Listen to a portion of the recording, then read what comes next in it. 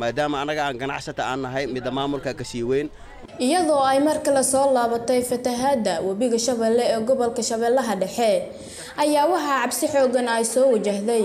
Ganacsatada ku dhaqan magaalada jowhar ee xarunta hirshabelle kadib markii qaybo ka mid ah magaalada jowhar ay ku soo bilaabmeen biyo ka soo fatahay webiga shabeelle warbaahinta city oo u kuurgashay xaaladaha suuqyada magaalada jowhar gaar ahaan ganacsatada ayaa heshay xogo ku aadan in ganacsatada ay xilligan soo food saartay. Cabsi ku aadan sidii magaalada loo soo geli lahaa badeecadaha laga keeno magaalada muqdisho caasimada dalka iyo meelo kale waqooyi markaa webiga u raacno kaleeto sida jallaqsi ilaa laga soo gaaro qaar ka mid ah ganacsatada oo la hadashay warbaahinta city ayaa sheegtay in deegaanada hirshabelle ay ka siman yihiin fatahaadda balse dadaalo dheeraad ah ay bixiyeen dadka hirshabelle. Qaarkood ay ku xireen meelo inta badan uu fatahaad ka sameyn jiray webiga shabeelle xilligaanse loo baahan yahay inay iskaashi sameeyaan shacabka iyo maamulka islamarkaana laga hortago dhibaatooyinka uu sameynayo webiga shabeelle ee gobolkan shabeellaha dhexe. Waxa ayna dhinaca kale tilmaameen in haddii wax aan laga qaban dhibaatada soo noqnoqotay ay dhici karto sarowkac dhanka badeecadaha laga keeno muqdisho iyo meelaha kale. Cabsi weyn lagu haysto webiga biyaha xoogan ee saaran marka la yidhahdo dhanka waqooyi markaa webiga u raacno kaleeto sida jallaqsi ilaa laga soo gaaro soona shan. Dadka waa iska soo buureen magaalada jowhar markaa fiirsan. Xooga inay dadka fadhiyaan u malaysaa biyihii xaggeena loo soo tolay. Annagana waa jiifnaa inaan istaagno oon biyahan aan iska xirno oo aan iska buurin sida dadka waqooyi naga jiro ay iskaga buureen. Hadda midda mooyinka fakato kaleete oo buqda mooyinka hadda fakatay oo hadda waa xalay waa la xiray alxamdulilah waa lagu guulaystay laakiin macnaha mar walba macnaha mataqaanaa markaa fiirisid boqol saamood in ka badan aad u jilicsan webiga aad buurkiisa u dhammaaday.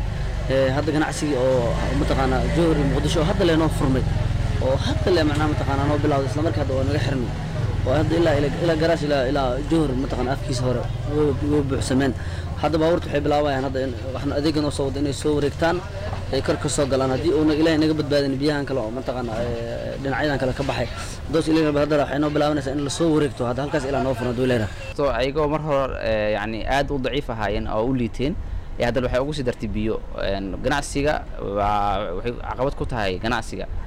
Badeecada kor u sii qaali doonto baabuurkii oo lacagta qaali dhihi doono isku socodka oo go'i doono. Magaaladii oo inta badan waxaa ku xiran tuulooyin hoos yimaada magaalada jowhar tuulooyinkaasa ganacsi u soo doontaan. Marka waxaa saameyn aad weyn ku leedahay. Walaay hadda way waa jirtaa. Inkastoo hadda laakiin doorkiina laga filaya ay gaarin waa jirtaa. Laakiin dooraa ku leenahay in la xiro biyahaas. Annaga haddaan nahay hirshabelle aad ayay noogu soo nonoqotay aad ayay noo dhibtay.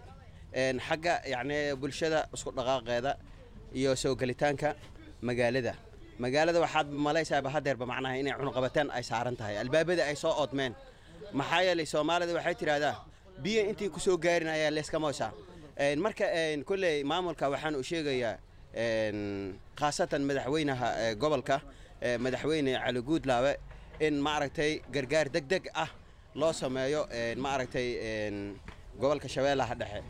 Haddaan laga soo gaarin dhibaato yacni oo taan aad u weynan badan ayaa ka dhacaysa gobolka. Deegaanada maamulka hirshabelle waxaa qaarkood ku soo noqnoqday.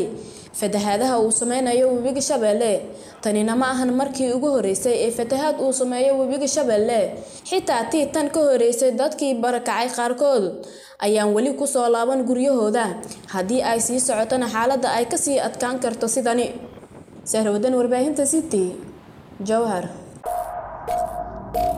waad ku mahadsan tahay daawashadaada inaad nagu soo biirto wax lacaga kaagama baxayso. Keliya waxaad u baahan tahay inaad falow saarto boggeenna facebook ama aad sabskraib dhahdo janaalkeenna youtub adigoo bartilmaameedsanaya city somaali t v an rediyo la jaanqaad warbaahinteenna oo hel warar iyo barnaamijyo adiga kaa hadlaya